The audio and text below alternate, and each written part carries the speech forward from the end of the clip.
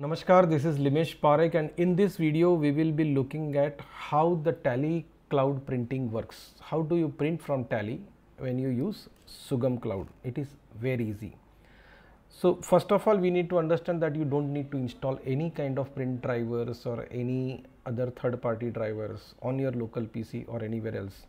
You just open the browser, run your Tally, give the print command and it works.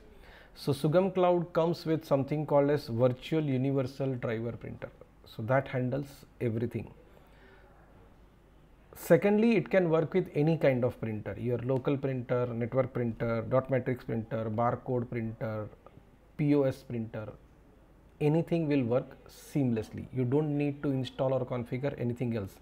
If this does not work, you can of course contact our support team. Further, many of our customers use custom size paper. So custom size papers also work in Sugam Cloud. What points are covered in this? There are just two steps. You preview and then you print. So you open the report you want to print, then give the print command, then select the printer, universal printer redirected or universal printer.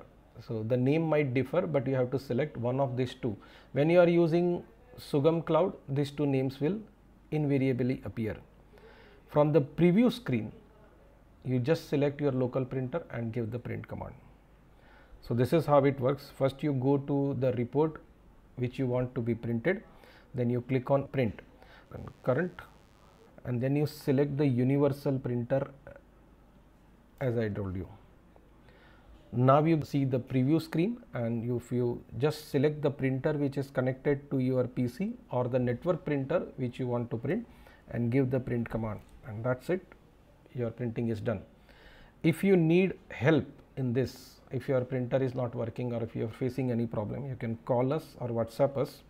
Our numbers are given on the login screen. You can also click on click to whatsapp to chat with us on whatsapp directly and instantly. You can also watch this and lots of other videos on our youtube channel. Please do consider subscribing to this channel and also sharing with your colleagues so that they also learn how to use the Sugam cloud in the best possible way. And do plan a visit to NJ. Thank you. See you soon.